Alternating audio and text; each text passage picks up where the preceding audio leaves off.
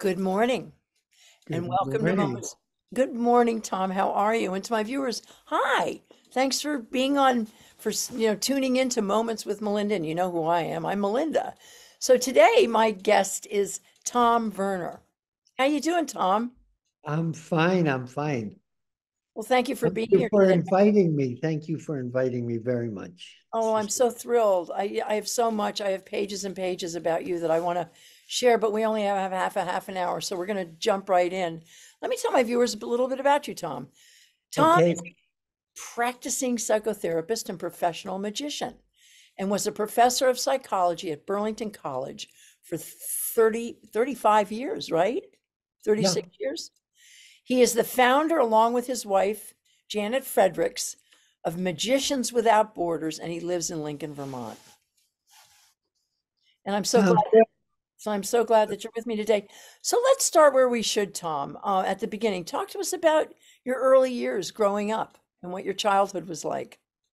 Uh, I grew up in a small Irish Catholic coal mining town in Western Pennsylvania, sort of outside of Pittsburgh, between Pittsburgh and Wheeling, West Virginia. And it was a very, very traditional town in many ways, a, a wonderful town to grow up in. Um, the church and the parochial school was sort of the center and heart of, of the town. And I was a very serious altar boy. And uh, at 13, I left home and went away and lived in a monastery for seven years. There were only two legitimate ways to get out of town. One was to join the military, and the same year I went to a monastery, my brother went to the Marine Corps. So we both got the blessing of the town to leave. So that's, uh, in a nutshell, my very early years. What, what kind of monastery was it? It was a, a Christian Catholic cloistered monastery. Um, I actually lived in three of, it was a religious order, and I lived in Dunkirk, New York on Lake Erie for four years, and in Hartford, uh, Connecticut for a couple of years in a monastery there. And then my final year was actually back in Pittsburgh in a very old monastery up on a hill overlooking the city of Pittsburgh. Fascinating. So, Well, I, I'm I'm from Allentown, so I can relate to the, I'm on the east, Allentown, sure. Yep. The other end of the state. the other end of the state. So so what brought you to Vermont? What brought, brought me to Vermont was um, actually a, a, a job. Uh, the person who was running what is called the transpersonal psychology program at Burlington College, I met at a conference in New York State, and she was leaving, and she told me about the program, and it very much interested me. I was, I had just finished my PhD in clinical psychology with a focus on Jung, Carl Jung, and dreams. And so I was very interested. I applied. They hired me, and I moved to Vermont in 1979. Wow. So so Tom, who would you say was your greatest inspiration in your life to follow the, the, the life, the footsteps that you've taken in your life? I don't know. I the first uh, name that popped into my head was my mom, in many ways, and I I was blessed to have a very good mom who encouraged me to uh, have an ad- big adventure as a life, Well, you uh, yeah. Well, your life has been an adventure, and we're going to get into that. So, you taught for 35 years at Burlington College, and of course, the college no longer exists. That's So, right. how do you feel about that? Well, I I feel it um it it's a real loss in in many ways and was unfortunate um that it ended. I was no longer there. I had been gone for a number of years, um, doing Magicians Without Borders and traveling around the world. We'll get in into that. But when I first started at Burlington College, my first class, the average age of the freshmen at Burlington College was 31 years old. So it was filled with Vietnam vets who kind of came out of the woodwork and were coming back to or beginning college or returning to college. Uh, women who had raised their families and maybe had started college 15, 20 years earlier and came back and finished. Um, there were all people who brought to the classroom an incredible amount of life experience. You know, someone, a recovered alcoholic, you know, who was now in AA and um, had gotten their life back on track and now wanted to go to college. I mean, it was filled with amazing, amazing students. Well, and a lot of those people are still here in Vermont doing great work. So let's move into your into some of your uh, your dream studies. You wrote an article, Dream Studies Portal, and then you published. Uh, Simon and Schuster published your book, The Transformational Power of Dreaming: Discovering the Wishes of the Soul. So, talk to us about your deep dive into dreaming. Well, my uh, I mentioned that I was interested in Carl Jung, who was probably the greatest, um, debatably for sure, the greatest um, student of dreams.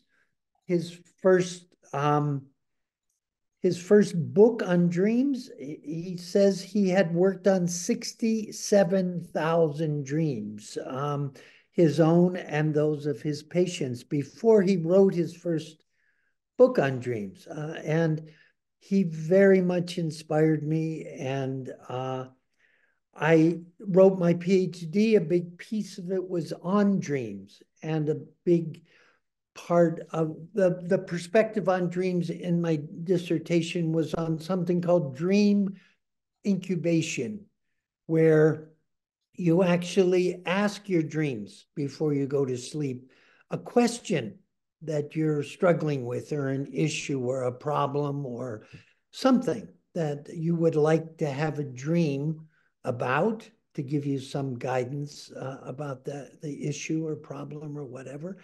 And my wife and I, Janet, while I was teaching at Burlington College, and that's actually where she met. She was teaching art there, and I was teaching psychology. And one semester, I took one of her art classes and she took one of my psychology classes. So I like to say I fell in love with my student and my teacher. So that's an ethical wash. So, anyhow, uh. um, she and I, for 15 years, anyhow, um, had dream retreats out here in Lincoln where six, eight, ten people would come and spend a week here working on their dreams. And we have a little, tiny little house uh, on our property that's dedicated to what's called dream incubation. So every night, one of the dream retreatants would sleep in that uh, dream hut and ask for a dream. And it was amazing what came up out of those. So for all of my viewers out there, we're talking to Tom Verner. Um, you know, try to remember your dreams, write them down, and there's some power in that. Um, in in understanding your dreams. Um, so let's talk a little bit. So I wanted to ask you this question: In your psychology practice, have you ever considered psilocybin therapy? Uh, in your practice, because I'm a big supporter of using fungi to heal the mind. Yeah, I, I, um, that sort of came a little later, um, when I really stopped having a very active, um, psychotherapy practice. I still have a very, very small little practice right now, dreams. Um, but I'm, I feel psilocybin is a, an amazing substance. And I've said, and this is probably not something I should say out loud, um, but I think a child could take psilocybin. It is such a friendly drug and meets everyone right where they are. And it's not, not anything like LSD or something that Ritalin so or Ritalin or some of these anxiety drugs they have these children on, which literally dead deaden them. You know, these hyperactive children who were in our day, you know, my parents said she's just a spirited child. Yeah, Let let her be. At the end of the day, today, uh, 40% of children are on, on some kind of a drug and it's it's it's it's deadening their souls. So I agree with you that I agree with you that fungi might be a better solution. Yeah, but I've never, I've, I've taken psilocybin myself and I take those kind of substances very seriously and not on any kind of regular basis, you know? Maybe once a year or something when I really need to like step aside and say what's going on right now and kind of look at my life and it's a visionary vegetable as far as I'm concerned. And you know, I haven't had a drink in 20 years because I just don't like what alcohol does. But so when I go to a party, I might take a tiny little bit and it's I just feel like I'm a lot healthier in the morning than my husband after a couple of beers. But anyway, so we're going to move on from psilocybin, but I honor you in that and thank Hey, you for that. So you and your uh, wife, Janet Frederick, started Magicians Without Borders in 2003. Your mission is to entertain, educate, and empower, and you use magic to create a just world full of possibility in communities around the world. Talk to us a little bit about this organization. So um, just the kind of statistics over these 20 uh, years or so, we have traveled to 47 different countries, mostly war-torn countries, often war-torn countries. We've been to Ukraine four times since the war began, and we can talk a little bit about that. Um, and by UN estimates, we've performed for about a million and a half refugee and orphan kids at this point. We perform mainly for refugees and orphan children. And as you said, the mission is to entertain, educate, and empower. Uh, just to give two little short stories about the entertainment piece of our mission. We were performing in a number of refugee camps in South Sudan, actually um, on the South Sudan Ethiopia border.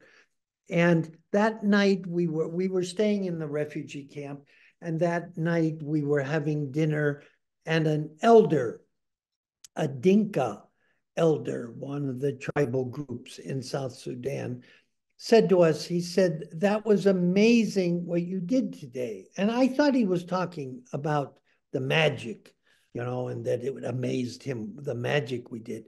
But that wasn't what he was talking about. He said, in refugee camps, often groups who were enemies back in Sudan end up living together in the camp. And in that particular camp, there were Dinka tribes people who are pastoralists, and there were Anuak people who were agriculturalists. And they were traditional uh, enemies back in Sudan, but they were living together. And he said to me, he said, You know, we laugh in our tukuls, in our huts, and with our friends and family. He said, But today, for the first time, and I've been in this refugee camp for 20 years, he said, for the first time, we laughed together as a community. Anuak and Dinka people were together laughing. And he said that never happens. So the I never would have known that if that man had not told me that, that that the magic, besides, you know, um, amusing and amazing people, in that case, actually created a sense of community in a way that didn't usually happen in that refugee camp. Another quick story is we were in Iran on the Iran Afghan border perform we were going to perform in a refugee camp there. We came into the camp. We were met by this wonderful Afghan elder And we sat down for our traditional first cup of tea. And in the course of the conversation, he said, Where would you like to perform? And I said, Well, if you have an inside space, that would be best for focus and whatever. He said, But we, I said, we can perform anywhere. And he got this kind of little puzzled look on his face and he said, Well, our only inside space is the mosque. Um, we'd be honored to have you perform in the mosque. So we did two shows. They brought in 500 girls. We did a show for them. Then that show ended. We they brought in 500 boys. Afterwards, we were sitting with this same elder having a, another cup of tea, and he said, uh, I've been here in this camp for 17 years. And uh, just a, a, little aside, before Magicians Without Borders, I used to think people went to refugee camps for three months or six months or something, and then the war ended or whatever, and people went back. It's not like that. You know, people are in these camps for 10, 15, 20 years. Um, so he said, I've been here for 17 years, and you are the first entertainers to ever come to this camp. He said, the International Refugees uh, Relief Services take very good care of us. They give us security, food, shelter, clothing. Um, but he said, and I mean no offense by this, he said, I think they imagine we're only bodies. He said, Today you fed the minds and imaginations of those children, and they will be talking about this show for months and months. So God bless you. Please come again. So we again thought we were just entertaining, but what was also going on was something much deeper. So that's the entertainment part of the Do you have any thoughts or questions? well, I'm thinking about. I just want to let my viewers know that um, you know, that you and your wife created Magicians Without Borders, and you've you've you've reached over a million people, um, in in the in the, in the short span since you know 2003. And I want to and I want to also send my my viewers to your website, which is magicianswithoutborders.com. Very simple and you can learn all about this organization. The, you have a fabulous advisory group. Uh, you can go to all the countries where they've performed, where they've brought joy and hope to these. And there's a wonderful, wonderful little six minute video on there called Jadoo, which means magic in Hindi. And it'll give you a, a really good sense of put pictures to all the words I'm saying here. Right. And the other thing, too, is there is a donate button. So for all of my viewers who who want to help support Tom and Janet's work, um, there is a donate button, and we all we're totally totally supported by individual donations. We have no big, no big corporate grants or anything like that. Government grants, nothing.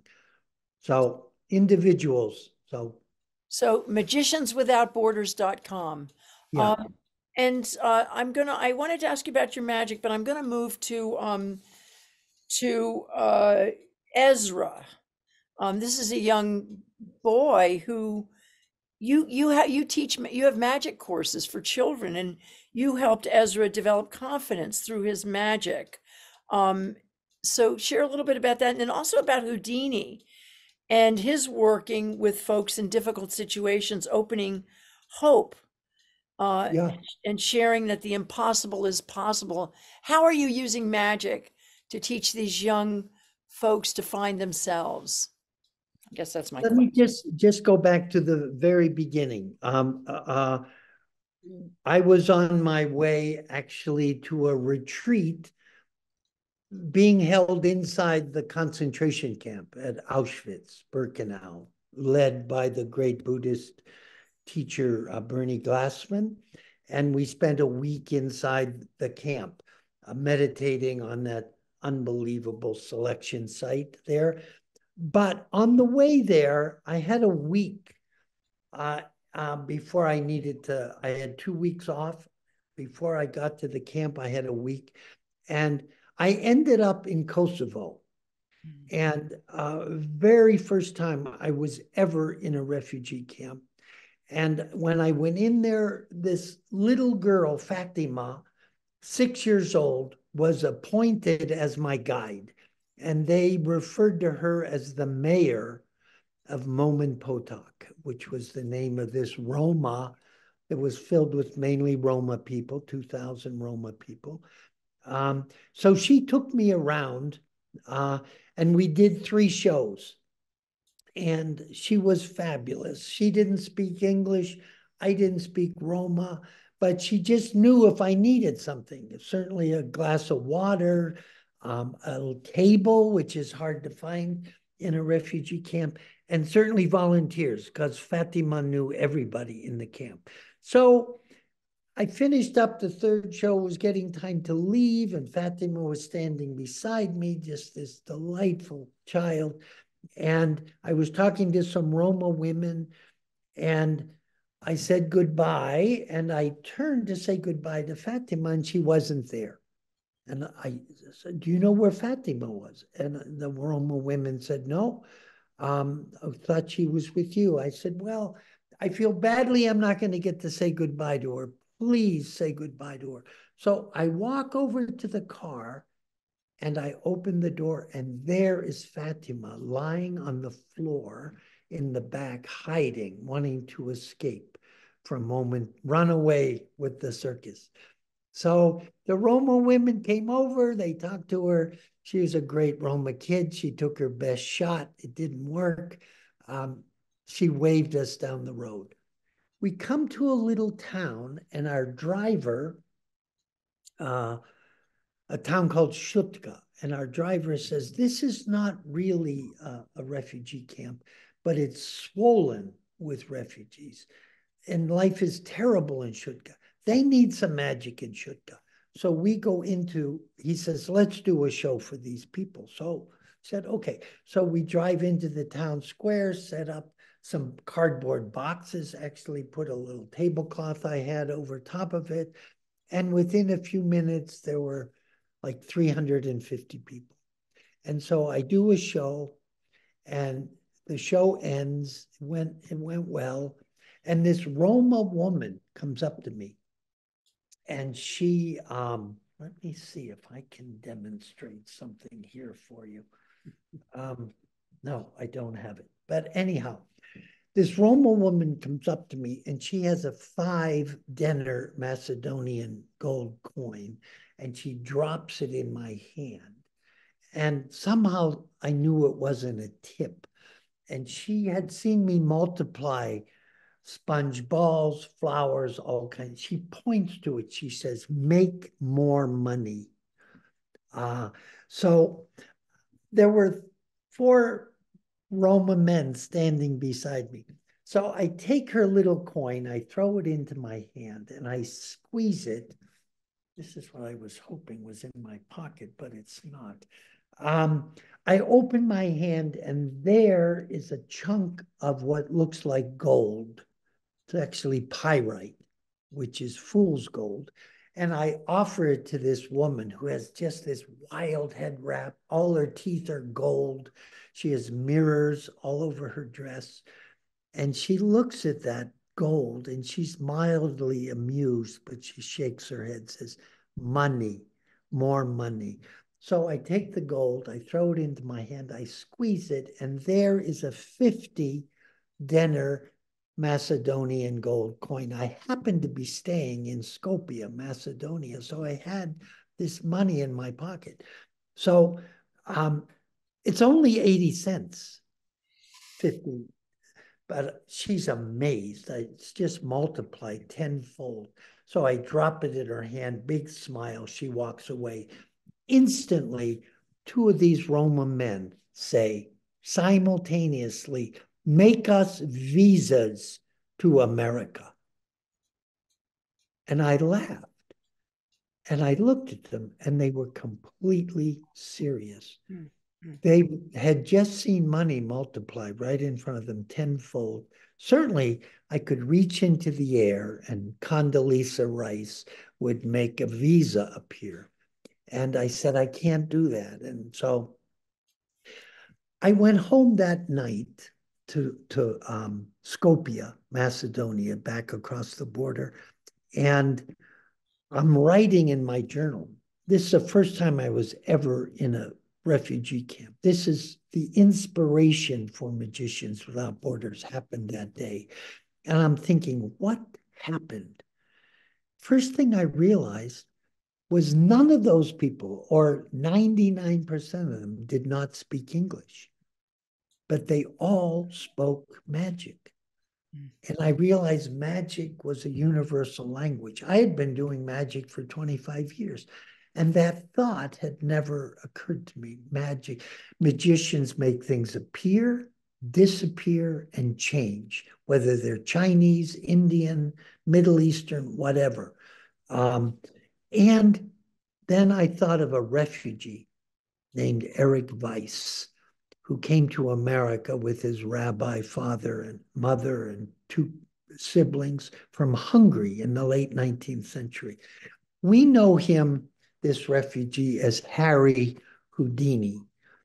And Houdini once said, he said, when I do magic for people in poor situations, it not only amazes and amuses them, but it awakens hope mm-hmm. that the impossible is possible. And I thought, oh my God, that's what I saw today. Fatima saw magic. She thought, I can escape from Momen Potok. Those, those Roman men saw magic. They said, oh my God, we can go to America and realize our hopes and dreams. So that's those two things, magic is a universal language and it can awaken hope, are the two cornerstones of Magicians Without Borders. And, and and you get into the sacred scriptures of the world about bread and suffering and beauty, and you have a magic event where you tear paper into little pieces and you put it in your mouth. And it indicates that children's homes that their homes have been lost, but there's hope. Yeah. That magic trick, I'm assuming that you put the pieces in your mouth and then it comes out whole and it helps these children understand that their lives it comes out as 45 feet of rainbow paper. Um, so, so the, the point is that magic is deeply rooted in shamanic notions of death and rebirth. And you take a rope and you cut it in half and you put it back together again. That is an image of healing and hope, you know? And so when we're not preaching this, we're, I would say, as a as a psychologist, we're seeding, seeding the unconscious with images of hope when and, the magic show. And also opening up these children to understand that, la- that all of a sudden they're laughing. And one mother said to you, "This is the happiest I have seen our children in months." Um, so our our our government is certainly has this battle against um, immigrants in the, to the south, and uh, the funding for Ukraine has has stalled. Where are you on all that? Well, yesterday, um, my wife Janet read me uh, something that came into her inbox um, about an extraordinary man named Ruben Garcia, who has an organization called Annunciation House in El Paso. And we've been to the border a number of times doing magic in Juarez on the other side of the, also in El Paso, but mainly over in Juarez.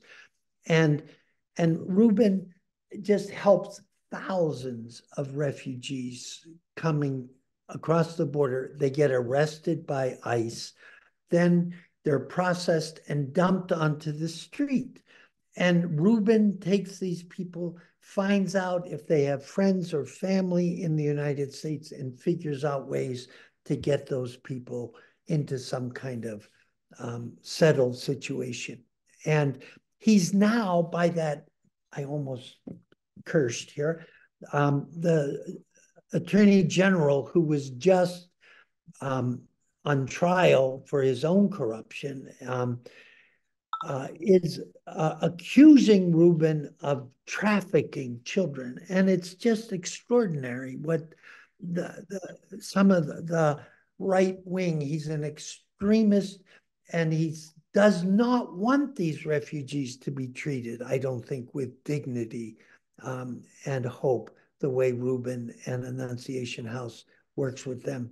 Anyhow, um, Janet and I have had amazing, powerful experiences performing for asylum seekers during the Trump administration when they were not allowed to cross the border and they were being held living in factory, abandoned factories and They were taking their babies. no, They were And- stealing their baby. I mean, okay, so they I, still don't know where some of those children right, are. I know. I mean, it was, I mean, you want to talk about in 50 No, years? I don't want to talk about that. No, but but if human, no, I'm saying if the world wants to talk in 50 years, where what this is going to look like to future Oh. generations. But let's let's move a little closer to where we live. And as you know, there is suffering right here in Vermont with so We much. mental health. started with Ezra. We can get back to Ezra and Oh. if you, if Well, you want. That's his sweetheart. I mean, I, I'm so sorry about that. But right here in Vermont, we have mental illness, homelessness, addiction. There are tent cities cropping up in our cities. And, you know, the despair here in Vermont is real. And then we had the pandemic, and it really did affect humanity. Um, sort of a wake up call. So, um, you know, thoughts about Vermont and sort of where we are. Well, do well, it's interesting you should say that, Melinda, that um, over these twenty years, um, rightly so, people have said to us, you know, you go to all these countries and you um, do good for the children there. Uh, we have lots of problems here at home. So Janet and I have decided over this last um, year to uh, bring Magicians Without Borders home.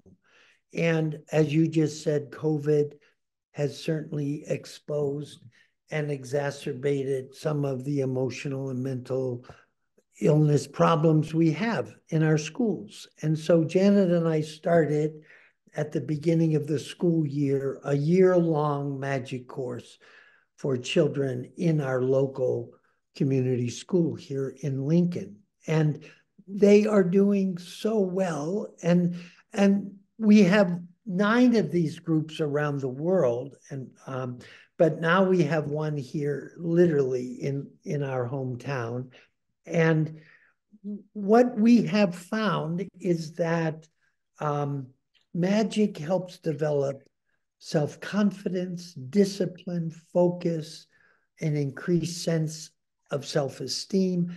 And now our, our, our students here in Lincoln have just started over the last six weeks performing.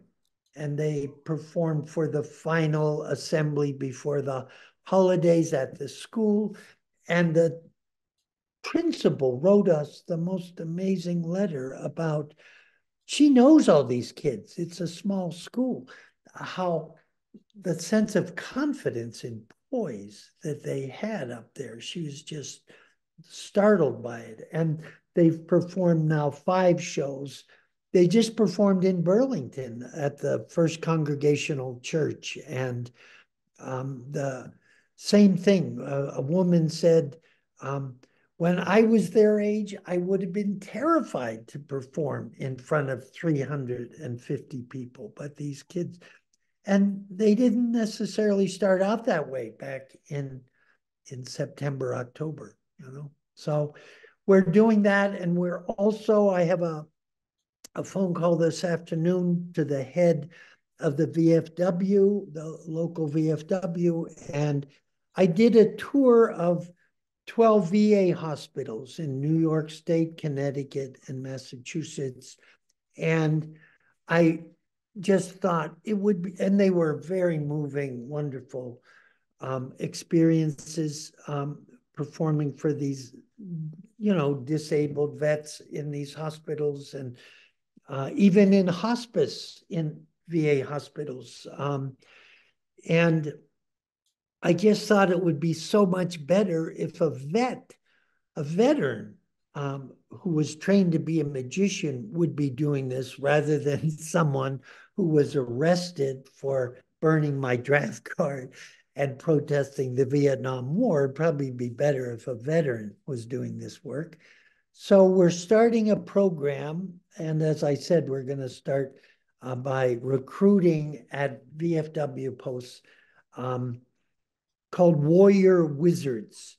And I'm going to train hopefully veterans and maybe their son or daughter or niece or nephew or grandson with them um, uh, to be magicians over the next year and see if they can begin to perform in VA hospitals and deployment parties and retirement parties and holiday parties for veterans and their families. So we're trying to bring more of this work home here is is what I'm saying.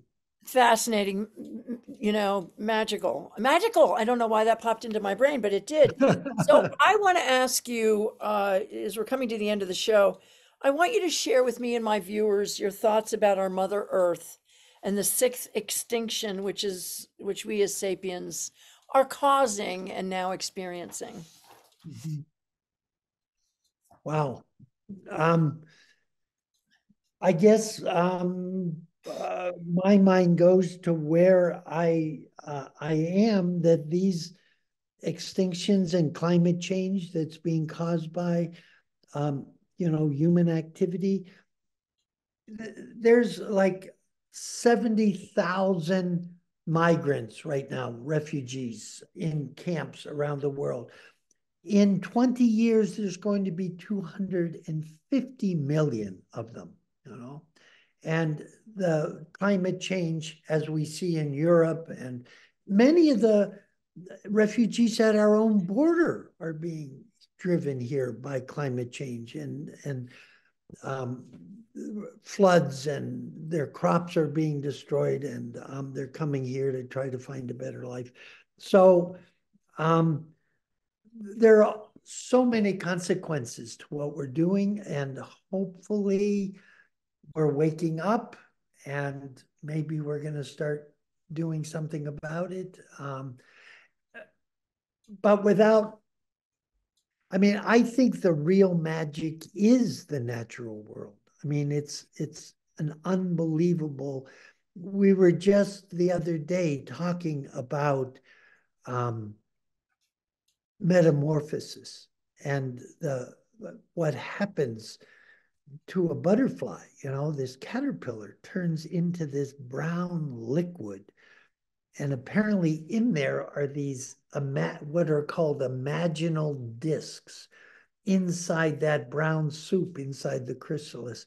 And they all find each other and come together and create a butterfly who then travels 2,000 miles, sometimes three generations of butterflies dying and being reborn on their way to Mexico and they remember where they were and where they're going. I that's magic.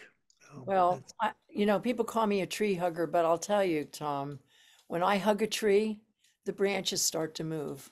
And I'm not kidding you. And that, you know, if you hug a tree and you really give energy to that tree, it will start to move. It feels you. So I am with you 100%. We're and it gives energy back. Yeah. Go ahead. I'm... Naogi back. So again, uh, this has been an incredible interview with Tom Verner. Uh, Here, he... let me show you a little bit of that. oh, magic. thank you. Oh, thank you, my friend. A little bit. Can you see this? I can. I can see the. Yes, I can.